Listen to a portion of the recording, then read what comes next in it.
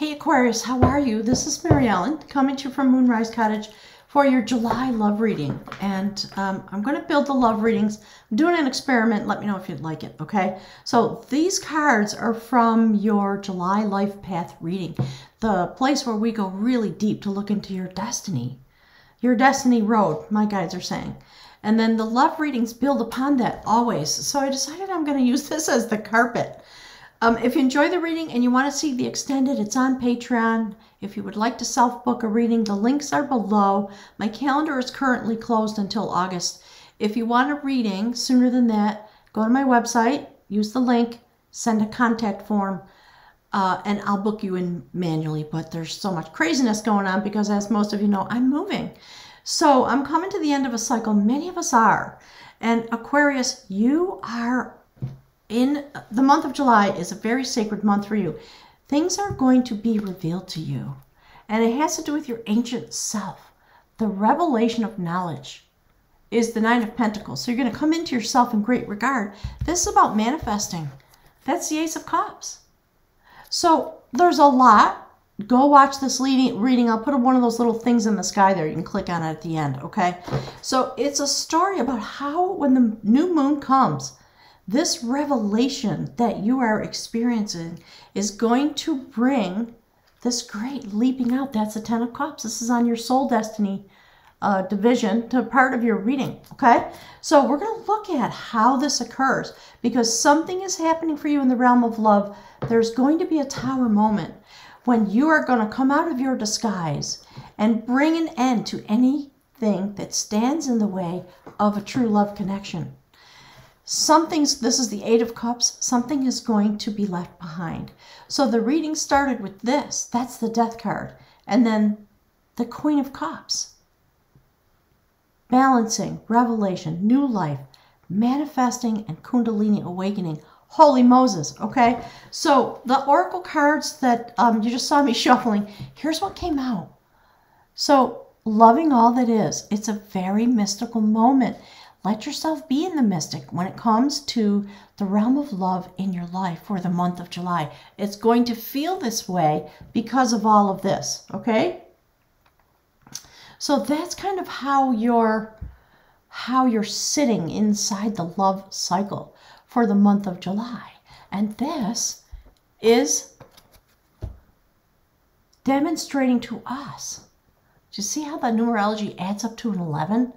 There is somebody. It's going to be very powerful, this connection, whatever it is. And I love the fact that it's moonflowers.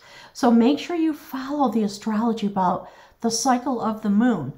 Part of what uh, is happening for you very clearly, I have no doubt in my mind because of how the life path reading came out, you are going to be initiated on the new moon. Whatever this is about, it might come forward. So if you're in a currently committed relationship, be prepared for some growth, some opening on the moon cycle. This card is the goddess of sovereignty. She reveals herself, she's in disguise. And the new moon comes and a portal opens and she is able to be seen she reveals herself, and here we have the revelation of knowledge. So, something phenomenal. And when she reveals herself, it literally changes destiny. That's the story. And look, there's the Tower card. It's astounding. So, somebody with whom you're very, very connected in a very sacred spiritual way could be anybody. All right, it really could. Look widely in your life. These readings, all all tarot readings, bring forward some information about the cycle that you're in at the moment. And your partner, this person, is in the process of becoming who they're meant to be. So I think you're reflecting each other. You're both going through a similar cycle. I'm wondering if you're with an air sign or perhaps a fire sign. There's water, there, there's a lot. So there's something that's coming together as a result of this pearl threaded relationship. Somebody that you're really, truly, very, very connected with. So let's take a look. When you watch this reading, you'll see that this came out. So we're going to take a look at you. We're going to take a look at the connection and we're going to take a look at your partner. In the end, we're going to pull a rune, okay? And then the extended will come out. So because of this Ten of Cups, you're going on a brand new adventure. The Ace of Pentacles, this love is going to bring a lot of abundance. And my guides are saying the words, it's going to be love abundance along with Pentacles. And you're going to walk through the gate into your destiny. And I love that there are lilies here because have the death card, death and transformation. This is the part of rebirth. This is the moment of rebirth. So I'm going to put it right here. Clearly, that's what it's about. They're, you're going to celebrate in a way that's profound. Three of Cups. That's Three of Cups. That was the outcome for your life path.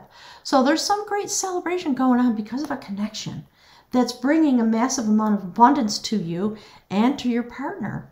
And there's going to, and there's the Queen of Cups again. So we're talking about you as the Queen, Queen of Cups reaching the moment where you're able to take the lid off the cup and share your love and your creativity and all that is meant to be manifest. See that manifestation? That's what that's about. That's literally what that's about. Go watch the reading, okay? So, this is you. Let's take a look at your partner.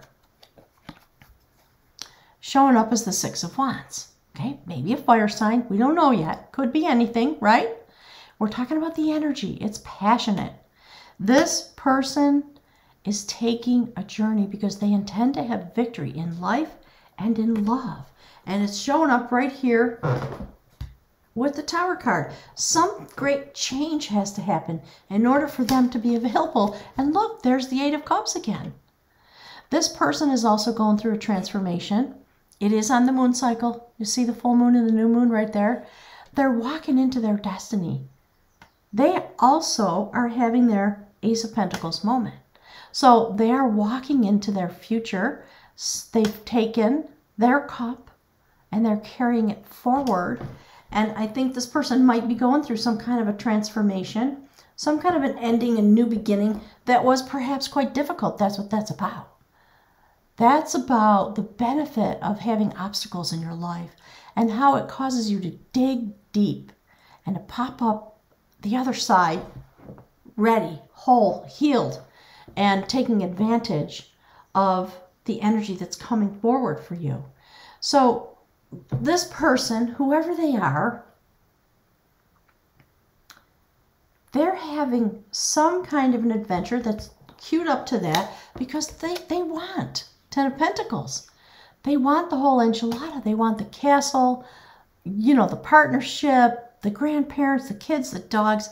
They just want this kind of bliss in their life. And they are going out to find it. That's what this person is literally doing. So I like it. It might be a moment. You see how the card becoming? That's what's going on for many of your partners.